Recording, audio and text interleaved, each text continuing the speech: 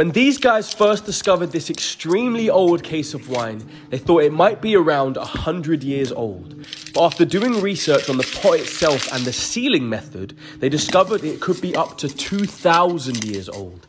This is extremely rare and usually makes the wine very expensive as it can still be safe to drink even after such a long period of time.